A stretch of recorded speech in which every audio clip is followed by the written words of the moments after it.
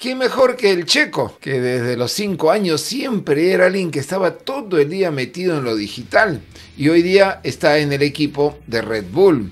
Y la primera actuación oficial de infarto cuando se le quedó el auto botado en la vuelta de calentamiento nos ha traído muchísima secuela. El último es el australiano Mark Webber, quien lo ha manifestado diciendo el manejo de Checo de los neumáticos en una carrera, uno de sus principales atributos, va a ser justamente esa cualidad que lo puede llevar adelante. Y declaró Weber, creo que el checo lo va a hacer bien. Está en una situación en que todos ganan, para ser honesto.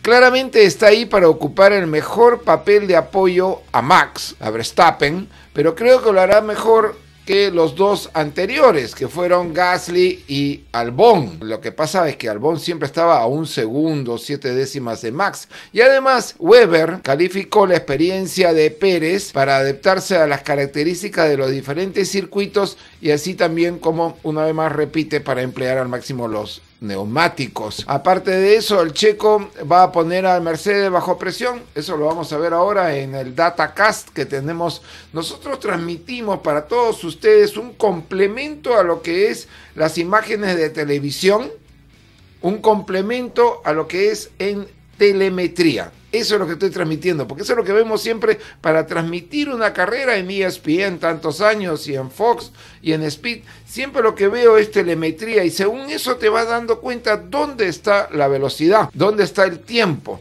Y eso es lo que estamos trayendo. Vámonos ahora con Lewis Hamilton, que reconoció que si bien ganó con Mercedes el primer Gran Premio de Bahrein por encima de Verstappen, reconoció que la velocidad del equipo donde está el mexicano Checo le exigirá demasiado para repetir las victorias en cada carrera. Efectivamente, lo que fue fue una cuestión de esas que cómo ganó Lewis Hamilton su primera del año. Datacast está en Automundo. No se la pierdan.